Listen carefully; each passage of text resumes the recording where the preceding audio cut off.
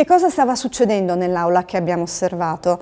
C'era uno studente che presentava agli altri un proprio elaborato.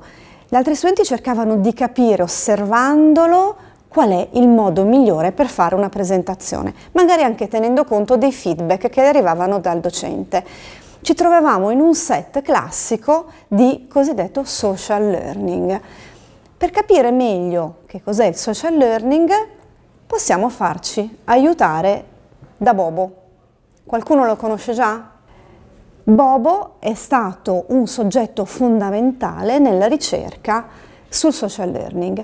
È infatti stato lo strumento utilizzato da Bandura, un importante pedagogista americano, per i suoi esperimenti sull'apprendimento legato all'osservazione e all'imitazione nel proprio contesto sociale.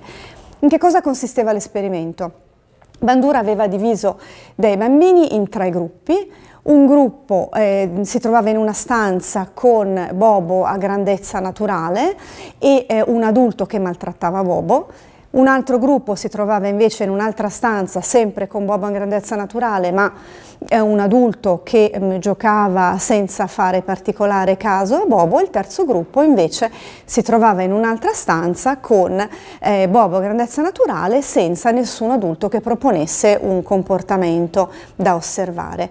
Che cosa ha osservato Bandura nelle fasi successive? Una volta messe in condizione di agire liberamente senza la presenza di adulti, i bambini che erano stati esposti a un comportamento aggressivo contro il povero Bobo si comportavano con maggiore frequenza rispetto agli altri in modo aggressivo. Da lì eh, Bandura ha dedotto tutta una serie di considerazioni su come l'ambiente finisce per modellare il comportamento attraverso processi di apprendimento basati sull'osservazione e sull'imitazione.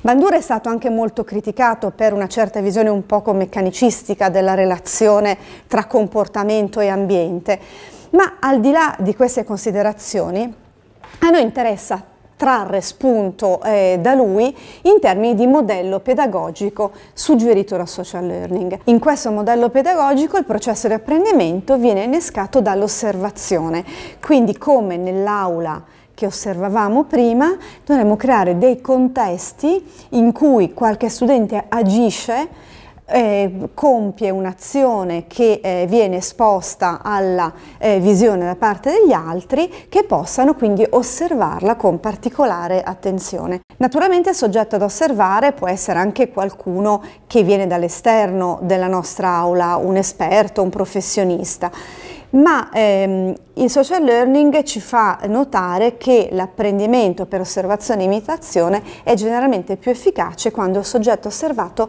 è in qualche modo simile a noi, perché questo favorisce dei processi di identificazione nel soggetto che andiamo ad osservare.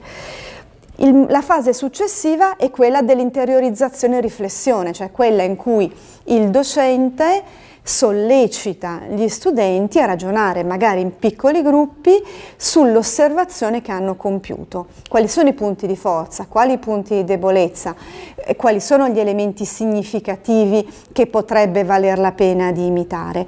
In questa dinamica di interiorizzazione e di riflessione possono entrare oltre che l'osservazione della della prestazione anche i feedback che il docente o altri esperti hanno dato contestualmente a chi eh, svolgeva la performance. È una sorta di rinforzo positivo o negativo indiretto, quindi un po' diverso da quello dei comportamentisti perché richiede una forma di eh, identificazione con il soggetto osservato. La fase successiva è quella della concettualizzazione astratta, quindi ho osservato, ho ragionato su quello che ho osservato, provo a dedurne un modello. Quali sono le regole d'oro per?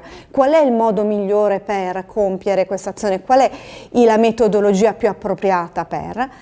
E infine la fase dell'applicazione di quanto concettualizzato in modo più astratto.